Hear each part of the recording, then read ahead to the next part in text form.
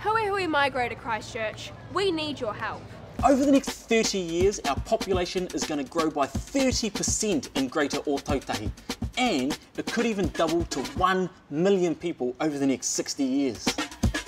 This means, as a community, we need to make changes to our lifestyle, including the way we travel, how we live, and where we grow.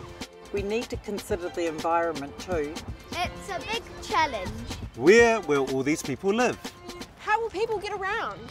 How will we take better care of our environment and protect our parks, green spaces and waterways?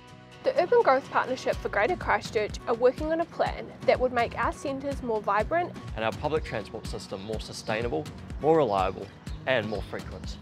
As well as investing more in our existing public transport network, they're exploring the creation of high-tech, high-frequency, high-capacity public transport that would run between Belfast and Hornby via the central city.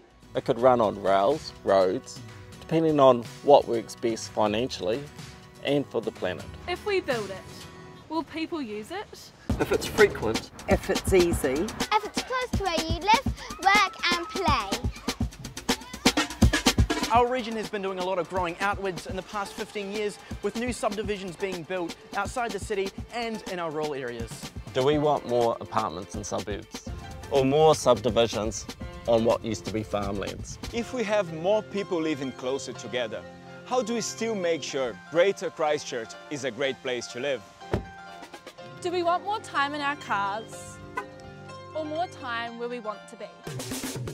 There are lots of decisions that we all need to make about what we want Greater Ōtautahi to look like over the next 30 years and beyond. It's time to choose our future.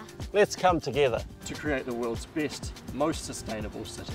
To make homes more accessible in Ōtautahi. To make decisions with our climate in mind. to come together as a community and make a plan. Have your say at www.greaterchristchurch.org.nz.